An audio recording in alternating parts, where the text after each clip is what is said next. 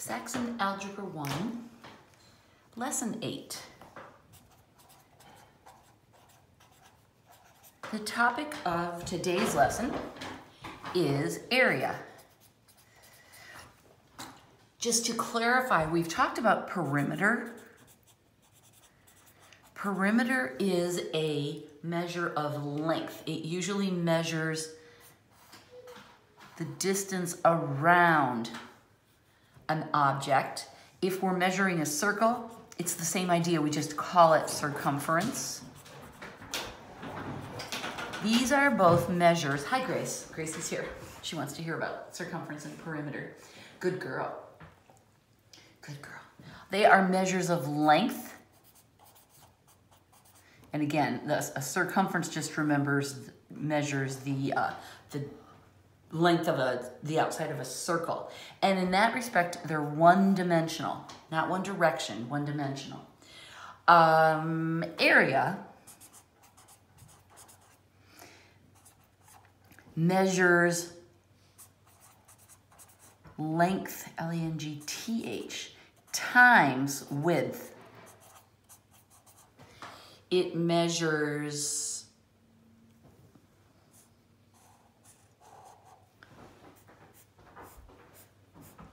all of that. It measures all of that. It measures all of that. In that respect, it is two-dimensional. When I was in like third grade or something and the teacher was first introducing this, she said, this is the, perimeter is the fence around the farmer's field and area is the crops. Oh, that made so much sense to me and has stuck with me forever and ever. Okay, so how, so we've talked about perimeter and circumference. We're not going to talk about that anymore. We're going to talk today about area. Now, finding the area of a rectangle. And by that I mean a four-sided object with perfect corners, 90 degree corners. It could be a square, or if the sides are not the same length, it could be a rectangle. So, the, and the formulas are slightly different. If it's a perfect square, you can just take the length of any side and square it because the sides are all the same length. If it's a rectangle,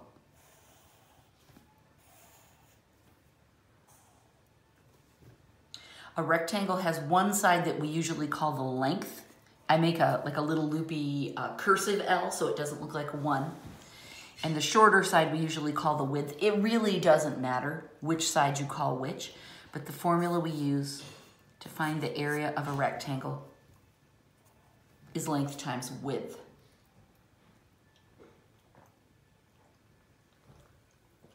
Giving you a minute to write. Okay, so those are our formulas. Take a minute now and write them in the cover of your book. Notice that even if you forget this square one, if you just use this formula for everything, it'll work perfectly because you would just take two sides of the square and that's the same as that. Okay, so at this point, I'm assuming you've written this in your book, and this is kind of, really you could write this whole thing.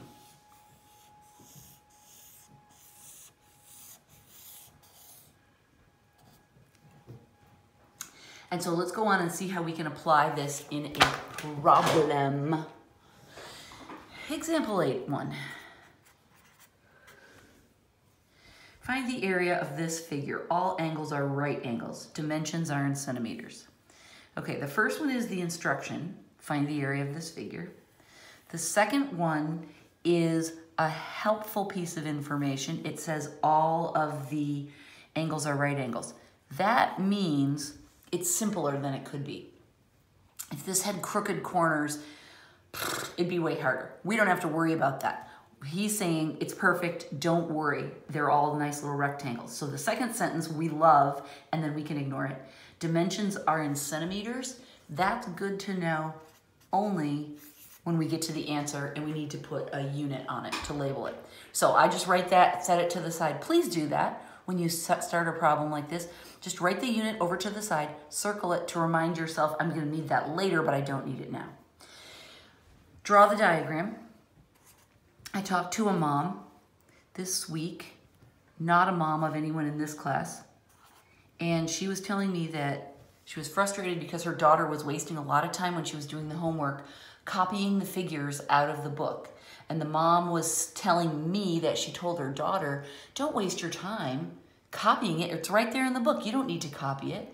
And I said, well, actually, I do want her to copy it because we notice things when we copy that we don't see when we just look. It also gives your brain just a chance to breathe and to catch up with what's going on with the problem. I'm a huge fan of drawing the diagram. Okay, now perimeter, I mean area rather. Area of what the heck is this? We don't know. So what we do is we visually chop this up into two smaller rectangles. There's two ways you can go about it. You could chop it this way and make a long skinny rectangle. Here, I'm just gonna draw a smaller one so you can see the two different options. We could chop it like that, or you got it, we could chop it like this. Either way, it's gonna be the same process. I'll explain to you the slight wrinkle. I'm gonna chop it this way. That's what I saw first. One is not easier or better. It doesn't matter. But what we're doing is we're making two rectangles. This is gonna be rectangle one. Oh no, I'm gonna make it A and B so I don't confuse it with my numbers. Okay, so I'm gonna write the area of rectangle A right here. So I look at rectangle A and I see that its dimensions are two by three. Oh, wait, I did it wrong. It's two by five. You have to be careful where, as you pull the numbers that you're getting the number that represents the full side and not one of the partial sides. So two times five is the length times the width. And so this one has an area of 10. The area of rectangle B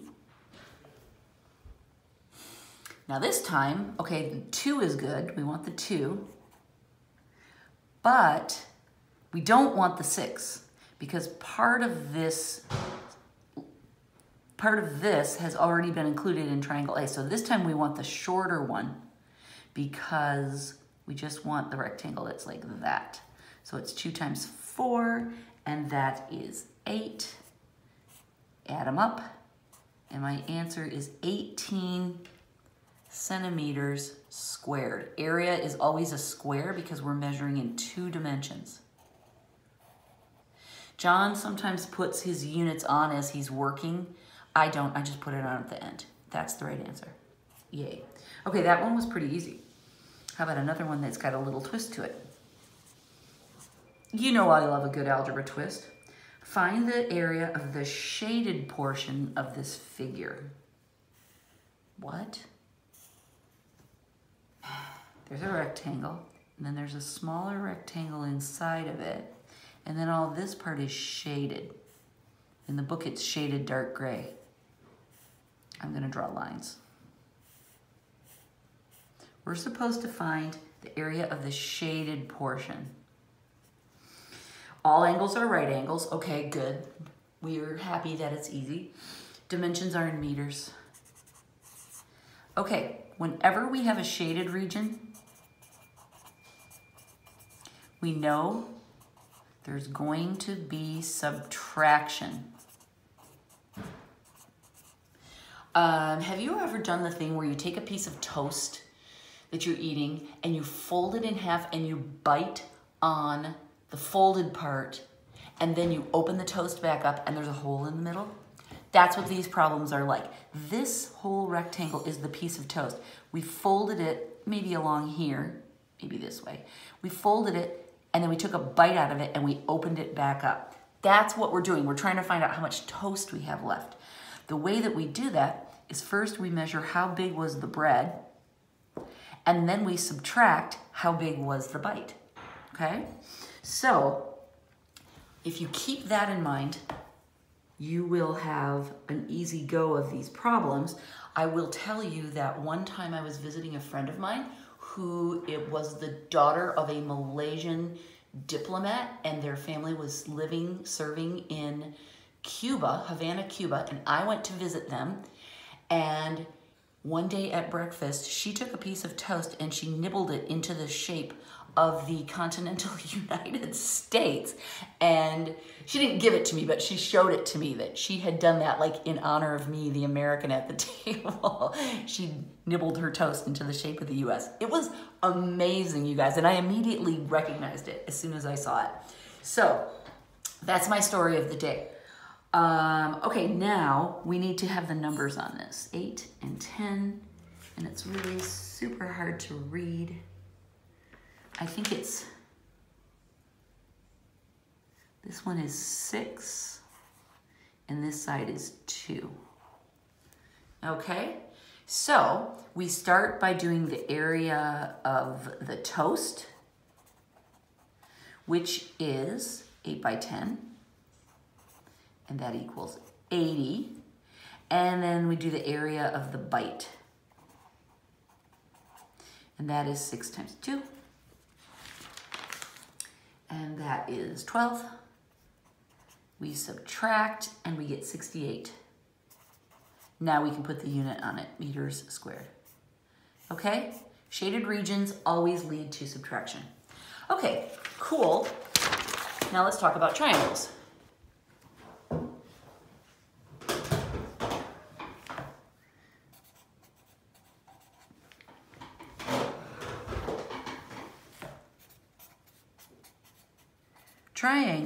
Have a slightly different formula in order to find their area. And before we can, I can give you the formula, I have to define a few things. A triangle has a base, which is whatever part of it is down as we look at it. Oh, that's a crooked triangle, isn't it? The base is pretty easy to see. So what I've got here is a right triangle, an acute triangle, and an obtuse triangle. Their base is all relatively straightforward and easy to find. The height is the other dimension we need, and that's a little trickier. It's different on all three triangles, so I'm gonna tell you how to find the height. You take a spider and send it up to the tallest part of the triangle. My spiders only have six legs, I'm sorry.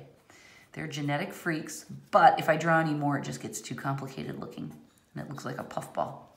Okay, I sent spiders up to the top of each one of my peaks and what I'm telling them to do is to drop a line, one of their web lines, drop it straight down and affix it to the bottom of the triangle. This one drops it right down along that edge. So this is the height it happens to be equal to that side of the triangle, which we'll later learn that they're called legs, but this height is equal to this side. Cool, that makes this pretty easy. But when we go to this style of triangle, notice that the web is gonna come down the middle of the triangle, the inside of it. That is the height of this triangle. And here's the weirdest one of all. On the obtuse, it drops down, oh, it's gonna cross over into the other one. It drops down outside the triangle, but that is the height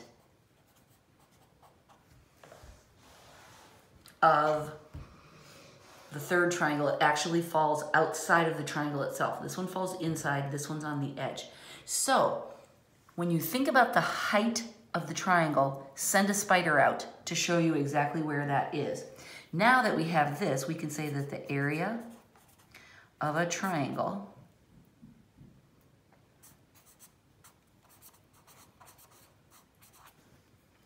equals the base times the height divided by 2. Okay?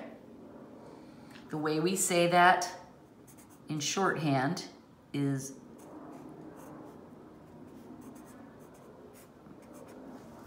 like so, right? I don't want to write the words out every time. This is what I'm going to do. I always draw a little picture. Area of a triangle or area of a rectangle. I draw a little rectangle. area of a circle, I put the little circle.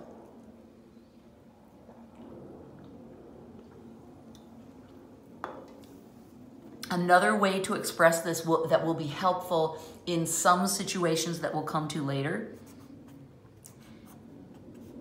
Area of a triangle equals 1 half times base times height. It's the exact same formula, just laid out a little differently. And there will be times when we'll use this version of it. So please take a moment. You're gonna need to pause me. Write all of this in the cover of your book too. If you didn't already, put all of this other information in there too. Trust me, the day is gonna come when you're gonna be like, uh, I can't remember. And you're gonna be so happy it's there and you don't have to look up in the book what it is. So pause me now and do this.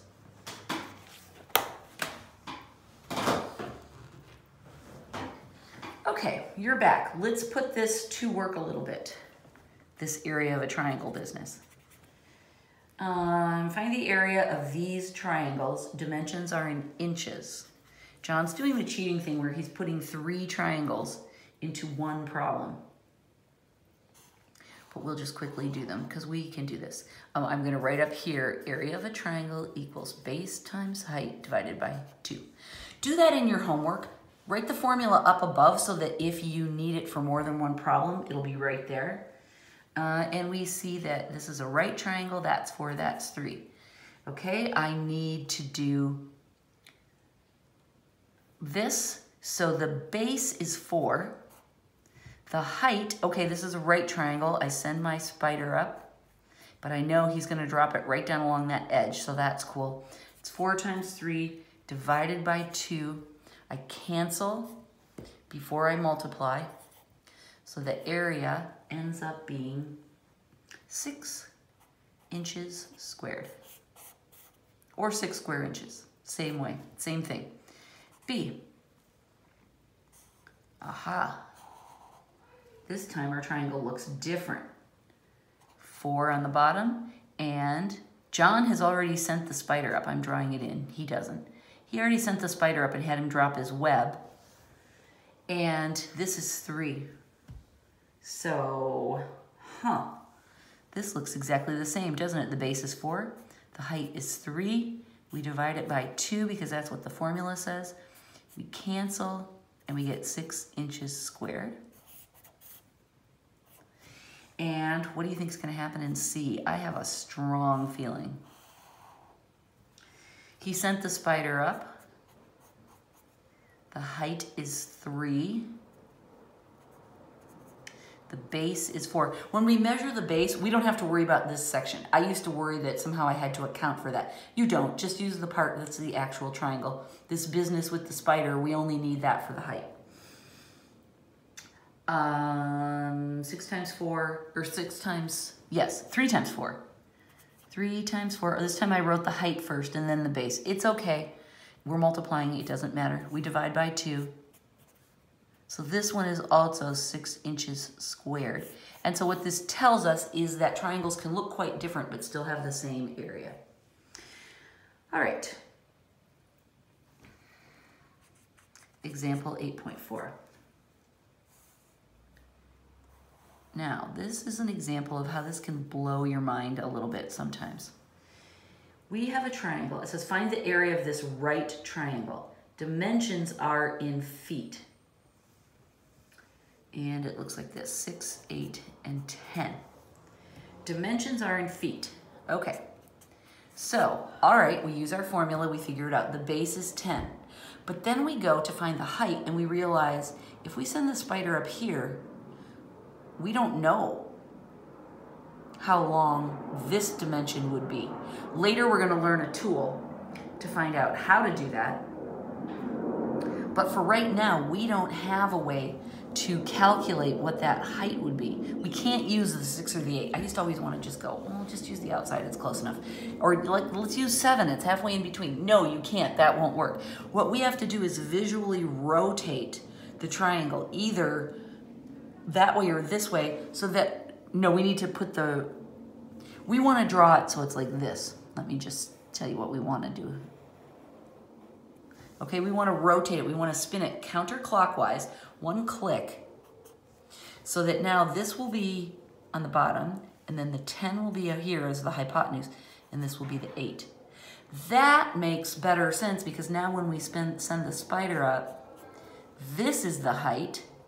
Right before our problem was when the spider climbed up here, it went like that and we didn't have that number. Now it drops it down on the outside and we can use that. We can go 8 times 6 divided by 2 and that reduces to 4. I always reduce the 2 against the larger number if I can to keep, keep your numbers small. They're easier to manage. And that becomes 24 feet squared. Um, so by rotating that triangle, we were able to get it to make a lot more sense. We could have rotated it the other way, but then it would have looked really weird. So rotate it so it makes the most sense to you. Um, okay. Another wrinkle, and then we're moving on from this.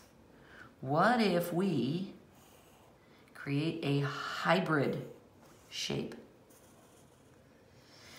Find the area of this figure, corners that look square are square. Okay, that's another way of saying it's easy, don't worry. Dimensions are in yards. The dimension, if, in case you haven't noticed, it doesn't make any difference at all. Who cares if it's yards or inches or meters or miles? It's just the calculation needs a unit in order to be geometrically sound. Okay, this, as you can see, is actually a rectangle stuck to a triangle. So the first thing I'm gonna do is divide the two shapes so I can see them clearly. I'm also gonna put these marks in just to help me remember that all these corners are square. We can do that. You don't have to do that, but I'm doing that just to remind you that that's the truth. So what we see is that we have two different shapes here. We have a rectangle, and we're going to need to find the area of that. And we have a triangle, and we're going to need to find the area of that. So this is area of a rectangle, area of a triangle. I'll pause for a minute and make sure you have caught up. I'm going fast.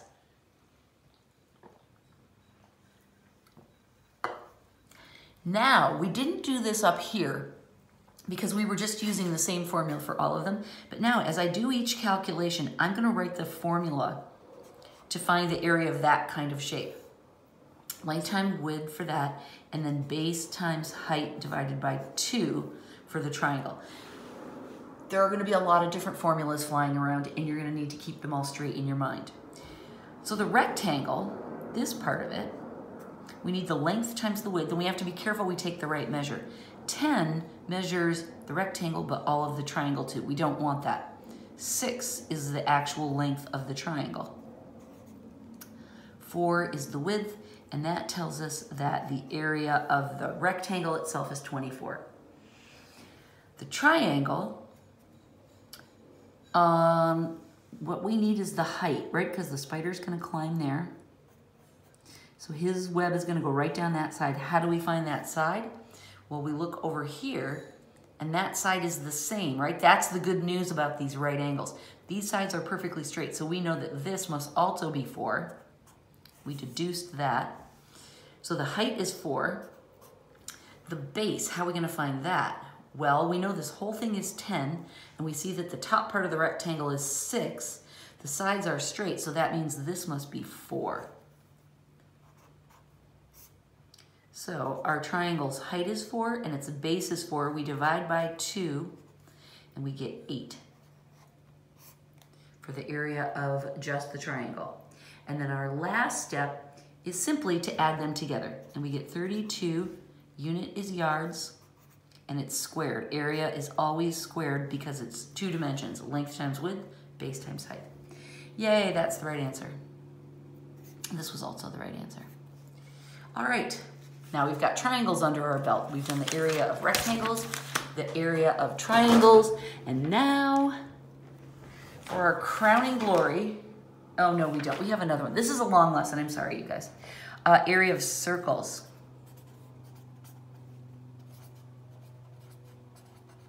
Circles are a little bit more complicated. um, we've got our circle, we've got our center, we've got the radius here, and the area of a circle, as you remember, equals pi r squared, where r equals the radius. And pi equals 3.14. Remember, it's that, that incredible number that the Greeks determined is drives all the properties of circles. If you want to find the circumference or the area of a circle, pi is the number that helps you find that. Example 8.6. Oh, copy this into your book.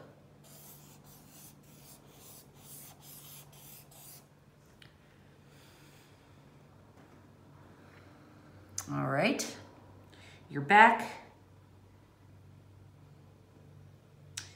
Ah, I'm reading this problem. The radius of a circle is three centimeters. Okay, I'm gonna write centimeters, and then I'm gonna write r equals three. Find the area of a circle. All right, we've got our formula right there. So we wanna say the area of the circle equals 3.14, that's the value for pi, 3 is the radius, right? There it is, squared. Okay? Which we can also say is 3.14 times 9. And then I'm going to do that multiplication right over here. 9 times 4 is 36. 9 times 1 is 9, plus 3 is 12. 9 times 3 is 27, 28 two digits behind the decimal, so it goes right there.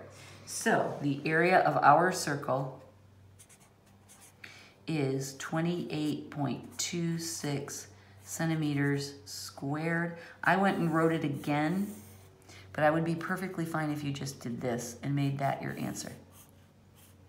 Okay? Don't erase your side calculations. Don't cram them over into an unreadable corner. They're a part of the problem and they're important and useful. So this is correct. 8.7. The area of a circle is 25 square meters. The area of a circle is 25 square meters. Find the radius. Huh. Okay, well usually we work in the other direction, right? Usually we get the radius and we're supposed to find the area. So this one, we're actually working backwards. So here's the way we do that. We take our formula, area of a circle equals pi r squared. Well, we know this area is 25. I'm gonna leave the units off, whoops. I did the opposite of what I said. We're gonna forget about the units for now. We'll put them on at the answer. 25 is the area, so that equals pi r squared. Oh, okay, well that's a little different, isn't it? We're solving for r. So what we would do is we would divide both sides by 3.14. Oops. That will cancel the pi, right? We used it as a symbol there, but it actually represents that number. And then we'll take the square root of that number to get just r. So r equals that. It equals the square root of 25 over 3.14. Um, you need to use a calculator to find that, and my calculator is busy being a camera right now. So I will tell you that John figures it out to be 2.82. I'm sure he rounded to the nearest hundredth. This is a perfectly fine answer for me, but it's kind of hard to see in the solutions manual. So if you if John gives you an answer like this in a problem like this, you have permission to use a calculator just for the last step to simplify that. Okay. Those problems are useful because you have to think backwards right? You're given the area and you have to find the radius, and that feels a little backwardsy, and that's good for your brain to go in both directions like that. 8.8. .8. Okay, here we go. It's It's gonna get a little bit crazier than it has been before. Here's our figure. Find the area of this figure. Lines that look parallel are parallel. Okay, that's good news. The radius is 2. This is 7. This is 5. This does not look like enough information, does it? To possibly find the area. Dimensions are in inches. But it is. We'll figure it out. What we can tell by this slope is that there's a triangle out here. And what we can tell is that by this shape, this is a semicircle attached to the end. Now, the important thing to remember about semicircles is that when we know the radius, we also know this dimension and this dimension, because those are just second, those are just more versions of the radius, right? Any line from the center to the edge of the circle is equal to the same number. That's what a circle is. So this is 2, and this is also 2. That's super important to know because we don't otherwise know this height. And if we know that, those shape dimensions, then we know that this one also must be 4 because we're told that all these lines are equal. And then right ahead of time, I can also see, oh, the difference between this 5 and 7, why are those numbers different? Oh, because this one has this triangle tacked on. So I know that this amount must be 2. Okay? So I went ahead and filled in that extra data before I even went on with the problem because I know I'm going to need all of those numbers. So now we can carry on. We know that we're gonna be adding three things together here. We're gonna have the area of the triangle, and we're gonna have the area of the rectangle, and we're gonna have the area, this is how I draw a semicircle. Like that. Okay, this is helping me organize my answer and it's giving me a plan or a roadmap so that I can remember all the steps. The most annoying thing about these problems is there's so many steps and you get in the middle of it and it's hard to remember if you're done yet. So I like to draw this all out because it helps me keep from getting lost in the weeds as I do the problem. All right, I'm also gonna write down all the formulas. Area of a triangle, that's base times height divided by two. Area of a rectangle, that's length times width. Area of a semicircle, okay, this is tricky. Area of a circle is pi r squared. But in order to find half of a circle, I have to divide it by two. Okay? You don't have to write this down or memorize it. You just have to remember that's the little trick for finding a semicircle is divide it by two. All right, now we're ready to fill in some numbers. The base of the triangle is two. The height of the triangle, there's the spider, is four. We divide it by 2 because that's just what we do. Let's just make the 2's cancel and say the answer is 4. Length times width. The length of the triangle, okay, it's not 7. We determined that 5 is the proper length. And the width, we have to use this trick to find out that it's 4. So it's 20 in all. And then the Half circle is pi 3.14 times the radius squared. I'm not going to write it unsquared. I'm just going to go ahead. The radius is 2, so it's times 4. Divided by 2 because that's the formula. These cancel, which is nice because I can double this number in my head at 6.28. And I'm going to write that with the decimals lined up so that I can add easily. And my answer is 30.28 inches squared. Cool, right? Takes a little, this is, to me, is the fun part, how you have to kind of suss out those extra numbers and then you just crank everything through. It's so important that you know all your formulas if you want to write this one at the front of your book, that the area of a semicircle equals pi r squared divided by 2, if you think that would be helpful to write it down, do it. If not, just remember how to do it in your head. The other thing I want to remind you is that we are rounding pi. We're always rounding pi just to two decimals. So our answers are take that simplification into context, right? The actual answer has infinite decimal places. Okay, now we're on the last topic. The area of parallelograms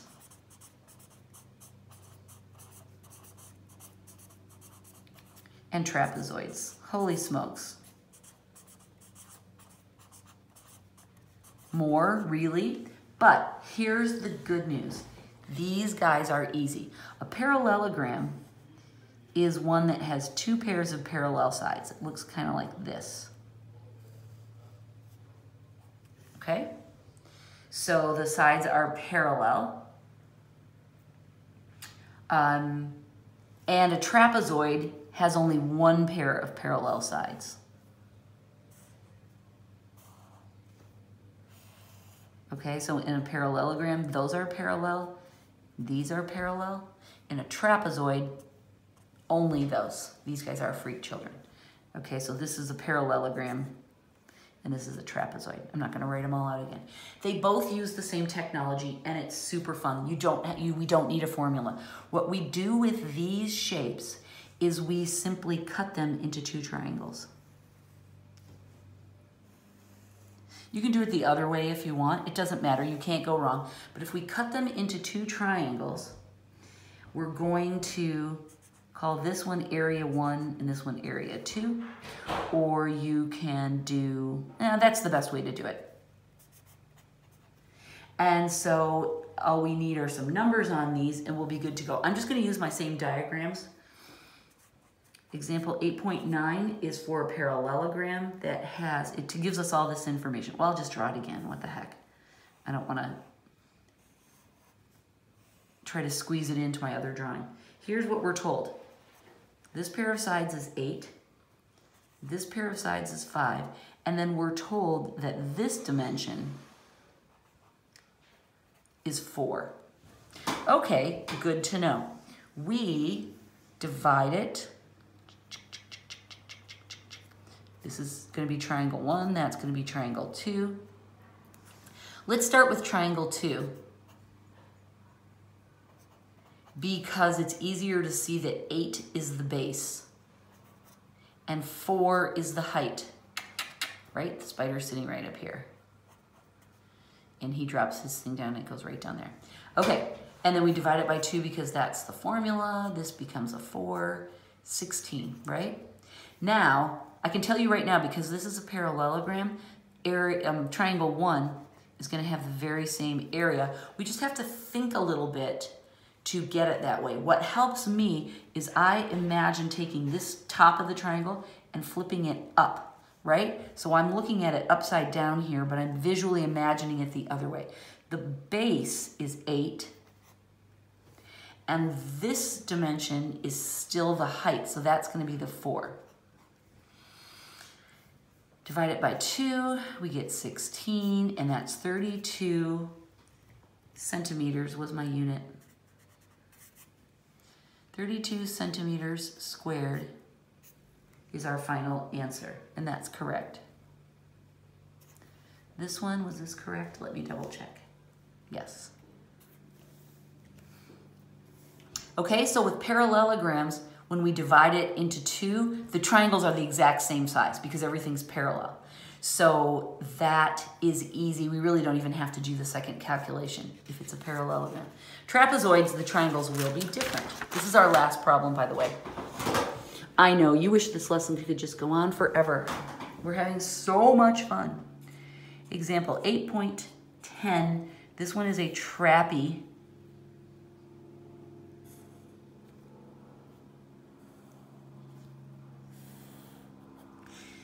These sides just happen to be the same. The height, John's giving us the height like this. It's another way, rather than drawing the dotted line and showing it in there, he's showing it to us on the outside. That's fine.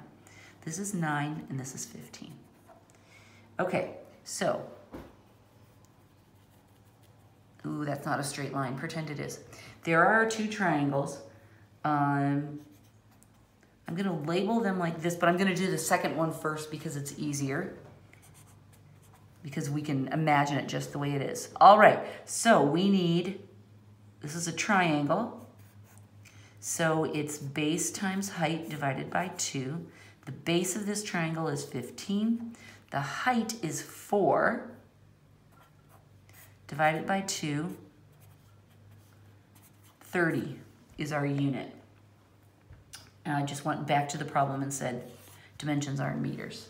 Okay? All right, we've got the first one. Now, we need to do, well, technically that was the second one. So now we're doing the first one. This is the one where you kind of have to visualize it. Um, this is gonna become the base when we flip it and it's gonna go like that, right? And this height will still be four. Okay, this will still be five. All right, so the base of this one is nine. The height is still four. And we divide it by two because that's the formula. 9 times 2 equals 18. And so we add together at the end. Sometimes students will forget what you do with those numbers at the end. Just think of it logically. We just want to add them together. 48 meters squared. Yay! So, parazoids, parazoids, parallelograms and trapezoids seem like they're going to be really complicated, but they're not because we just convert them into two circles. We are going to be doing a lot of problems like this, you guys, and they can get tedious and old. So give your brain a break if you're doing too many of them in a row. Um, but they're not hard, and I hope you can find a way to enjoy them. Well, they are hard. I take that back. They're, they require a lot of different information. So, thank you. Enjoy. I will see you for your check-in on either Thursday from noon to 2 or on Friday from noon to 2. I want to talk to each of you. Um, any video chat, it can be it can be FaceTime, it can be Messenger, it could be WhatsApp, whatever whatever video chat system you want to use, um, let me know and reach out to me. You don't have to call ahead and say, hey, are you free? I'm sitting by my phone with a book just waiting for someone to call me and talk to me about math. Um, and I'll have a review problem for you. We'll chat briefly.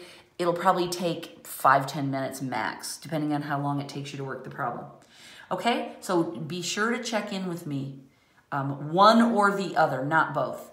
Um, and, and let me know, reach out to me or have your mom reach out to me if this does not work with your schedule. Okay, I'm done. Goodbye.